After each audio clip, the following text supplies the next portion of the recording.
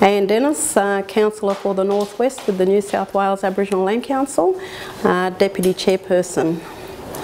Uh, today is International Women's Day and it's a big shout out to um, all um, women out there and uh, to recognise the achievements that we made.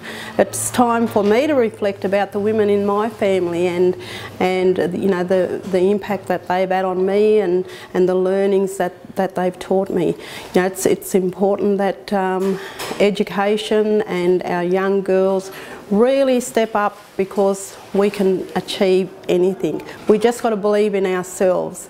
It's about the journey that we've made uh, through history and really it's about our cultural identity and and we should not lose our cultural identity, how important it is.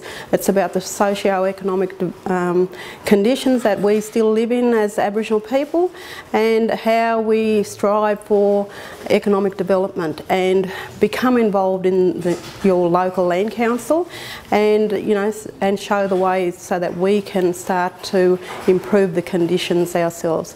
Thank you very much. Happy International Women's Day and um, keep striving and moving forward. Thank you.